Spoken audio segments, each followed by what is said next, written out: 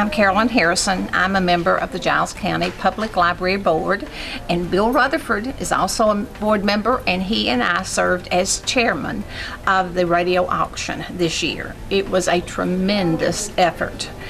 Uh, it just amazes me what this community does and what they did for their public library.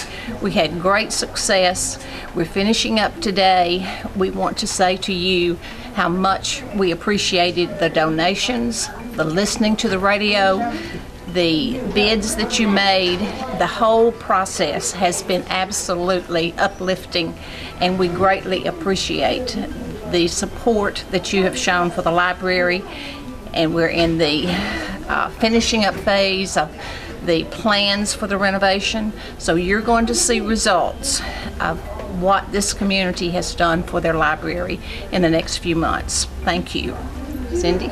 And I just wanted to kind of give you an update on our total. Right now, we're approximately 58,000 and we've got um, things that are still selling. So hopefully um, we'll get a few more dollars in and it's just a great number and we're just tickled that we've done so well and thank you very much for all the community has done and all the donations and all the people bidding. It was just a fantastic opportunity and a great success for our library. One more thing.